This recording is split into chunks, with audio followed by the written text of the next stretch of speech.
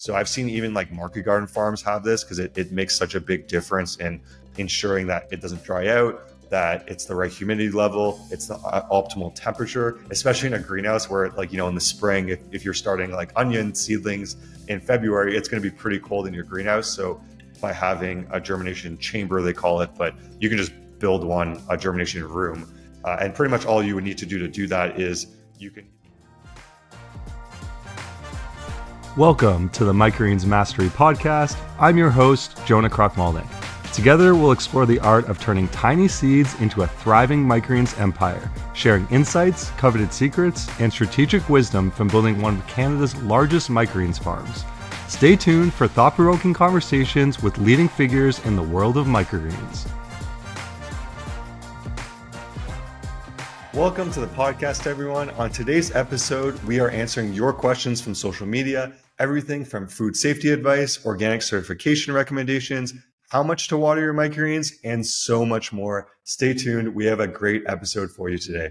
So, the first question is Do you have any advice on preventing Salmonella, E. coli, and Listeria? Any methods or protocols you recommend?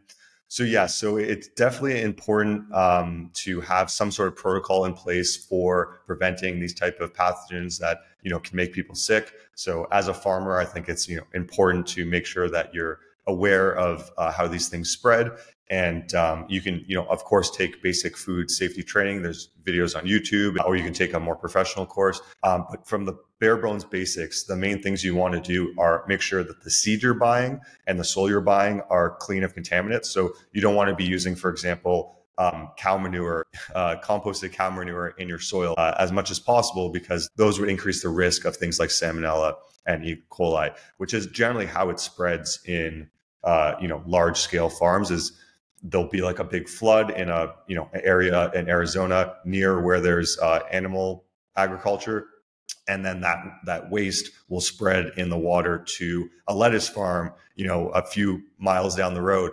Um, so that's generally how these type of things spread uh, on you know mass production farms. So it's generally a lot easier to control them in uh, an indoor facility. You don't have animals pooping anywhere or things like that that can be spread uh, by birds or, or, other animals, which is great. So it eliminates a lot of the risk. Um, but the seed is really important to make sure you're getting a clean source of seed. You want to make sure you're disinfecting anything that comes in contact with the final product, like the cut product. So this includes your knife, if you're using a knife, your harvester, any sort of bins you store the product, um, if you're using any sort of uh, reusable gloves, those definitely need to be disinfected. Your hands should, be washed every time you touch the product, whether it's harvested or you know just um, you know you're, you're, if you're taking off the hulls of sunflower in your grow during the growing time, you definitely want to make sure your hands are clean. So um, a lot of it's very very basic, um, but it's really important to do. So definitely recommend for anyone that uh, wants to learn more about this is just you know watch some YouTube videos on uh, basic food safety. There's lots of that available online. The next question is um, Promix HP is half the cost of MP. Can someone use MP and still be considered organic? Um, so the first thing is MP should not be twice as expensive um, as HP. Um, so if that's the case, then I would try to find different suppliers of MP in your local area because it should only be maybe 10 to 30% more expensive, not double. Um, but if you if you if you are using HP, um, it, as far as I know, in Canada the US, you cannot be considered certified organic because you in, in HP has two things um, that prevent you from being certified organic. One is um, there's a, a soapy like material, uh, a surfactant, which allows the peat moss to absorb the water much more easily than if it was just pure peat moss. So that is a, a you know it is a, a chemically derived um, soap pretty much.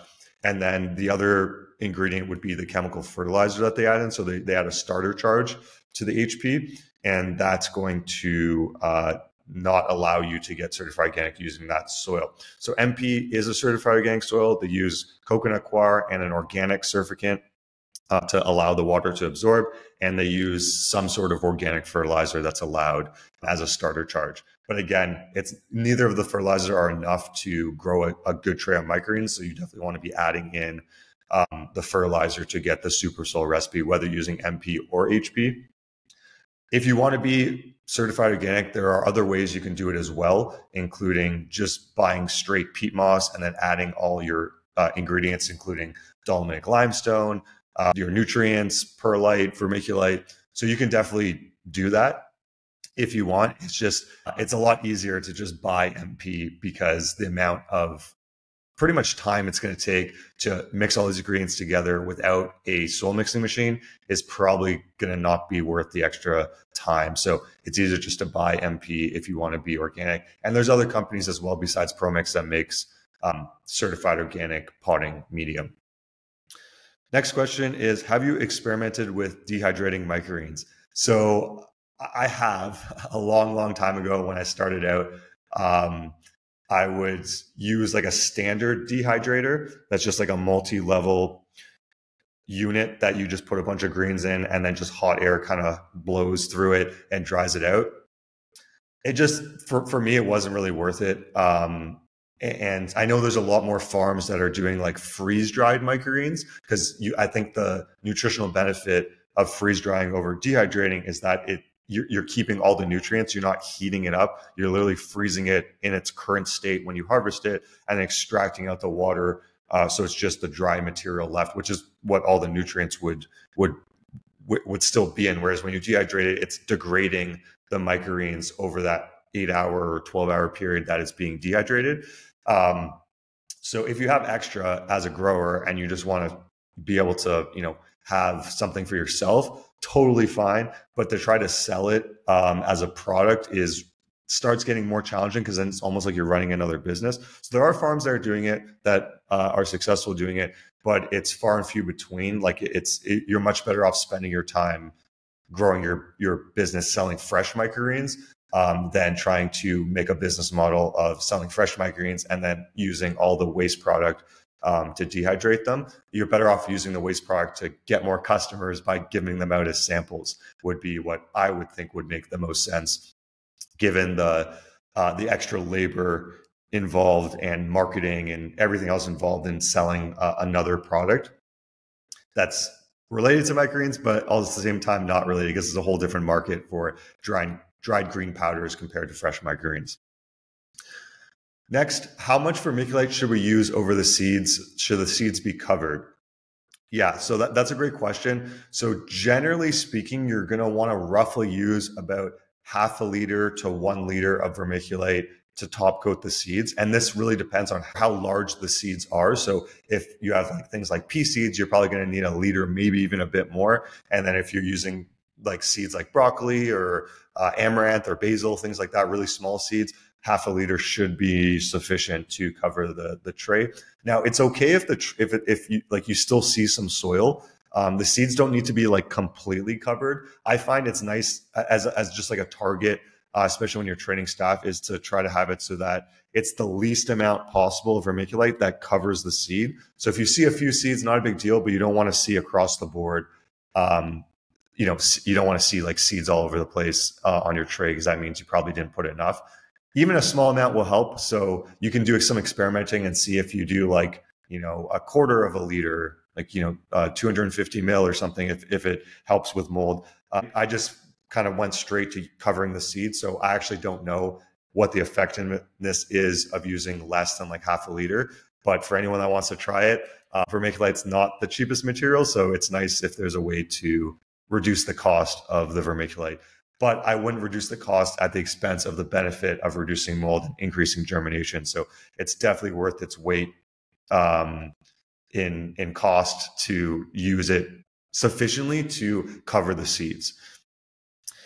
Next question is what is the typical revenue for different customer types? For example, direct to consumer, delivery customers, restaurants, retail stores, and distributors.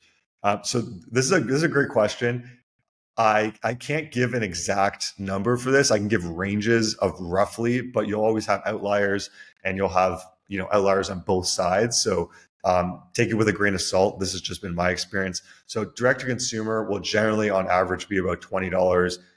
I would recommend having a minimum of twenty dollars because it starts getting really not worth your time if you're selling ten dollars worth of microgreens when you account for all the costs, including delivery. So twenty dollars would be the the minimum. So I would say the averages would be roughly twenty to twenty five dollars, and you may have some customers go up to you know fifty, uh, but you probably won't have many customers go above the fifty dollar price point because that's quite a bit of microgreens for one person or one family to consume. Unless sometimes you get like these really hardcore customers that are like super into like health and wellness, um, and they just want to consume as many microgreens as they can because they they understand the benefits. So you have those uh, rare situations, but again, those are the outliers. So generally $20, 25 and then up to 50. With restaurants, it would be a bit higher. It would be anywhere from, you know, on the low end, I probably wouldn't sell to a restaurant for less than like $50 a, a week in order. Um, and that's pretty low up to a hundred. Sometimes you'll get like, you know, if it's a bigger restaurant, you can get up to like a couple hundred dollars, maybe even more per per order during the uh, busy season, and that's if you have like a, a, really good restaurant that is putting microgreens on on a lot of their dishes, or they're just a really big restaurant. Now, retail stores, um, it's a, it's a level up from that. So generally, you're going to have on the really small end. Um, I also wouldn't sell for less than fifty dollars to a retail store, and that's pretty rare unless it's like a really really small, like mom and pop, super small town small store kind of retail store, generally speaking, you'll you'll, you'll find it'll be generally between a hundred and a thousand dollars per store, depending on the size of the store. So hundred dollars would be a smaller health food store. A thousand dollars would be potentially more of a, a chain kind of store or a just really busy grocery store in your local area. And then next is distributors. So distributors also, you know, there's a big range of uh, you know types of distributors and sizes and you know you can have a distributor that never carried microgreens and then they want to carry your microgreens so it's a complete gamble on how much product they're actually going to move. Whereas you know i always like to target customers that are already using microgreens in some capacity because um, then you have a better sense of what the demand will actually be. So for distributors it would generally be between like 200 and $2000 a week depending on the size and then it can go way up from there depending on the type of distributor. So if, if you're, you know, most major cities have something called a food terminal, uh, where there's like a congregation of a lot of different big wholesalers that import produce and sell it across the, you know, the city or region you're in. Uh, and those kind of distributors at food terminals can easily sell like 10,000 plus uh, a week, if not, if not more. Um, so there's a huge range there, but this just gives you a typical range for the different customer types. So I hope that helps you with with planning and understanding where the market potential is for different customer types. The edges of my pea shoot trays are growing well, but the center is really short. Why is this happening? Um, yeah, so this is a really common issue that people face early on. So there's there's either where it's growing really well in the center, and then the edges are not growing well, or they're growing really well on the edges, but then the center is not doing well. So in the latter, which is where the edges are um, doing well, but the center is not, meaning that they're not they're not germinating well, they're just growing slower, is from overwatering. So it's 99% of the time it will be from overwatering, meaning that the tray is holding so much water and the center of the tray is always going to hold the most amount of water and the edges are going to hold the least amount of water. So if the edges are doing well and the center is doing uh, poorly, like it's growing really short or not even germinating at all, that means that um, there's just too much water. So dial back watering during germination and post germination, and you should fix that issue. Now, um, if, if you have the other issue where the center is doing really well, but the edges of the tray are really dry, that's pretty much uh, the opposite where it's underwatering. So the center holds the most water, it's doing well, it's growing well, but the edges are dry, means that there's not enough water, and you should increase the amount of water during germination and uh, post germination. And that will 100% solve the issue. And it's really just about dialing in um, how much water at different stages of growth, which really only takes, you know, a few grows generally to, to get a good sense of that. Um, and uh, one, one good thing about microgreens is the learning curve is can be steep sometimes, but it's really fast. So if you're a tomato farmer, it's going to take you 20 plus years to perfect a growing recipe for your tomatoes. If you're growing pea shoots, you grow pea shoots for, you know, half a year, you're going to be an expert at growing pea shoots because you've grown it 26 times now. Um, so there's that, that's a good thing. So you should be able to dial this in pretty fast uh, once you understand that that is the issue. So hope that helps. Next question is Where is the best place to find vermiculite? Um, this will depend on your local area. Generally speaking, going to your local hydroponic store will probably be your best bet. Now, I always recommend using uh, a fine vermiculite, like the chunky vermiculite that usually you're going to find at garden centers or hydroponic stores is not going to really do the trick for, you know, if you're using it to put it on top of the seeds to prevent mold and increase germination. So you really need to find the specific type of vermiculite that's a fine grade. It's almost like a more like a powder than than like like a chunky material. And if they don't have it at the hydroponic store, they should be able to order it for you from the distributor. Now, if you're using a lot of volume, you could just go straight to like, you know, uh, a distributor that carries vermiculite and you'll get much better pricing. But for smaller growers, just going to a hydroponic store is the best way. If you don't have a hydroponic store near you, you can always go to a garden center and just be like, hey, I need fine vermiculite. Are you guys able to order for me if you don't have it? And generally speaking, if you're using it for like commercial growing, you want to get the four cubic foot bag. So it's about 113 liters. And that size bag is the most efficient way to get vermiculite unless you're like a really big farm. So those small bags that are like 20, 30 liters, you're going to be paying a huge premium for that. So you really want to find a source uh, in those bigger bags because it'll be much less expensive per, you know, liter of vermiculite. Do you recommend purchasing an indoor growing enclosure for germinating seeds? So, generally speaking, if you're just starting out, I would say this is an extra step you don't need. If you're a larger scale farm, there are definitely benefits to having an enclosed space that's dedicated to germinating seeds.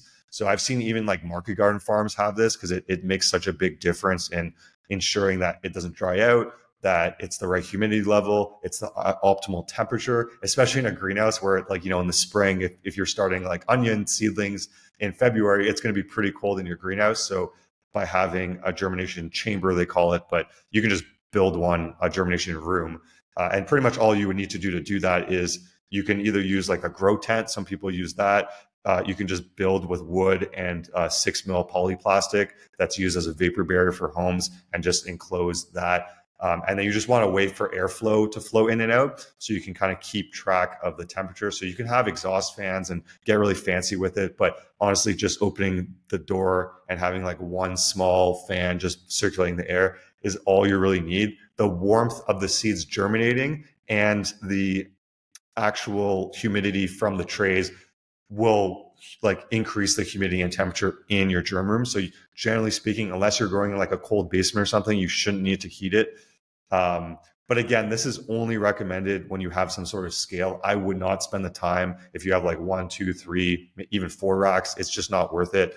Um, so it's really when you're at like, you know, maybe 10 racks or more that starts making sense to actually have like, you know, think about making or buying uh, indoor germination tent or, you know, germination chamber sort of thing because it it pretty much for for for me I found it reduced germination by one day on on some very key crops.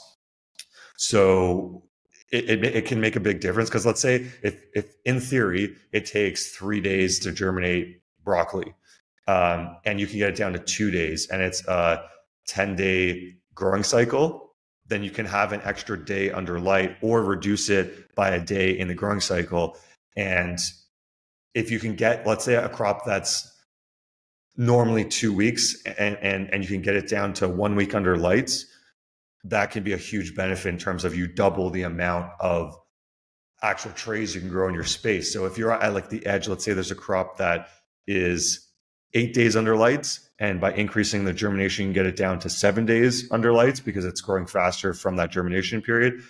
Then you, you know, then you have 52 crops instead of 26, which can be a huge benefit. So depending on the situation there, it may make sense, but it's really only at larger scale, like 10 racks plus, I would recommend doing it. Next question is what are the best lights for growing microgreens? So uh, this is this is a difficult question to answer accurately because it, it changes literally like weekly. There's so many grow light companies out there selling like the newest technology and the, the changes in the LED market is I can't keep up with it to be honest.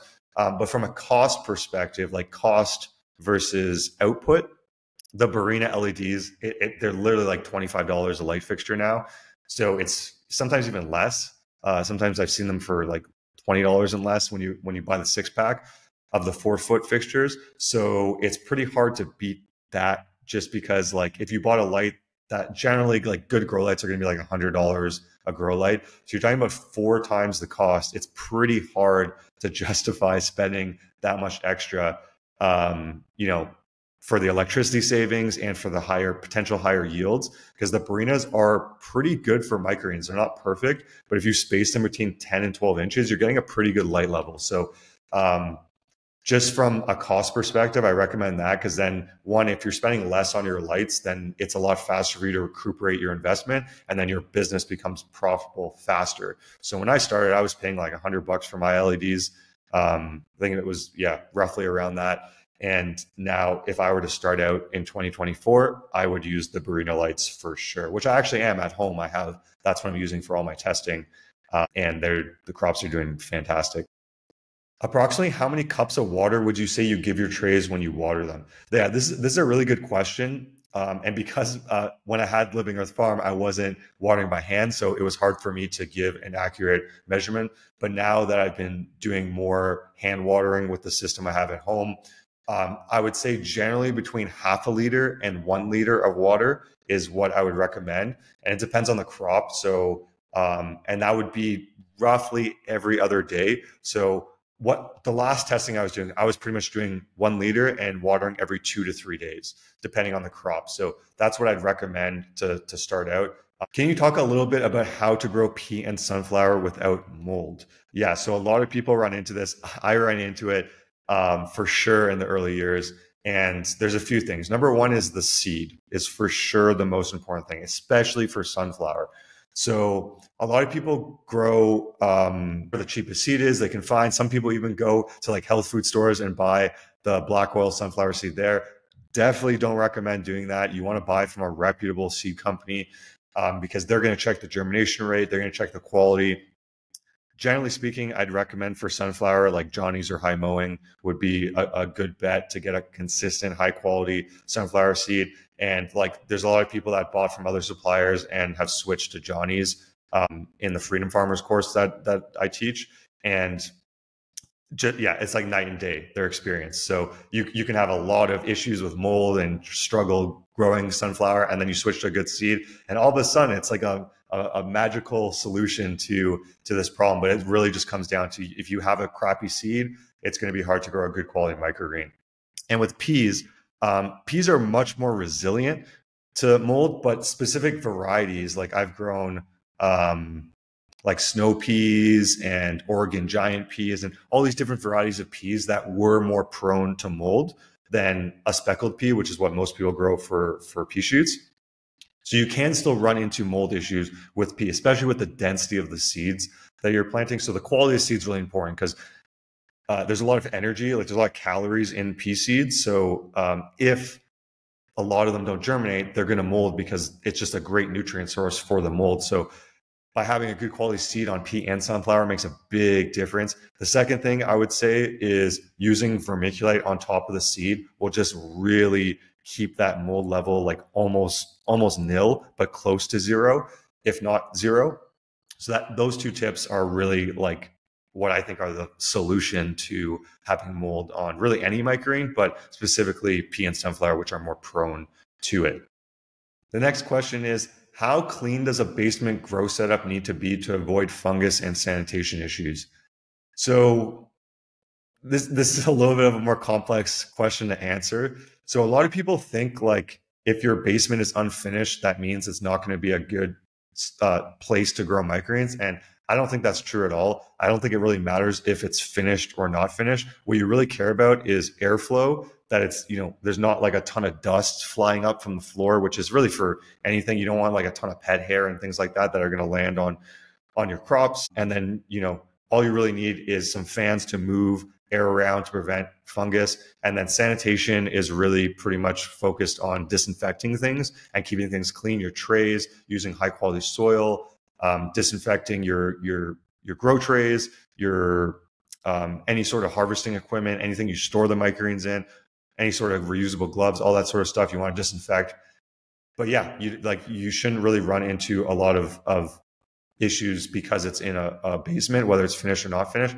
Keep in, keep in mind that basements generally have naturally higher humidity levels because all the cold air that holds less moisture will sink to your basement. So you'll generally have higher relative humidity levels. So you might need to have a dehumidifier earlier on. So some people might want to get a dehumidifier right away. I would check what the humidity levels are. If they're above 50% without having anything growing in there, then you should definitely get a dehumidifier because once you have plants growing, it's going to get above 60 and above 60 is when it starts getting not so safe for like molds and stuff to are much easier to reproduce. So you don't want anything like that growing on your walls or uh, in your space. So humidity under 60% is important and it's really easy to do that. You just get a dehumidifier. So if it, if your basement is, you know, 40% or 45% or less without anything growing in it, you'll probably be okay. Uh, unless you're planning to grow like, you know, 10 racks in your basement sort of thing. If you're just growing one or two, it won't increase the humidity enough that you'll run into any sort of mold or fungus issues in the air. Next question is when you started out, meaning me, I guess, was there any significant demand for organic versus non-organic microgreens? And do you think that there's still enough demand and higher prices to justify organic certification? Yeah, this is a, this is a really good question. Um, I think the market has changed, and I think it's changed because of vertical farming, like lettuce farming and and uh, you know basil and all these other kind of crops that are grown in vertical farms. This whole uh, no pesticide, no spray environment has really changed the the dynamic of what people really want um, and people seem to be like the consumer in general seems to be more okay with using chemical fertilizers and just having it not be sprayed in hydroponic vertical farms so what i've seen over the last 10 years as more of these vertical farms have popped up is that less and less stores and customers are requiring you to be certified organic um, so there's there's less need for it. So when when I started, I had to because there were some customers that were really big potential customers that wanted me to be certified organic in order to sell. So I could not sell them unless I was certified organic. So for me, it was more about it made sense from a business perspective to do so. Now the market has has like as, as I said shifted. And there's definitely increasing demand for organic produce in general, but there's less uh, requirement that you need to have it be certified organic. So it really depends. I I personally think that growing microgreen certified organic just makes sense because the only difference between the way I would grow it non-organic and organic would be the seed. So the soil, the super soil recipe, there is nothing I have found that's even remotely close that's hydroponic or you know anything else that will give anywhere close to the quality. And whether you're organic or not organic, the quality is number one. So I would still be using the super soil recipe and using like non-organic seed if I was not organic. Um, and the cost difference is pretty minimal in the grand scheme of things. Like you're talking about 20, 30% maybe on the cost of your seed. And then everything else is the same. So if you can, if you think you can get a higher price point by growing certified organic, the cost difference is not going to be much in terms of production changes uh, in the way I would recommend doing it to get the highest quality, most nutrient dense microgreens.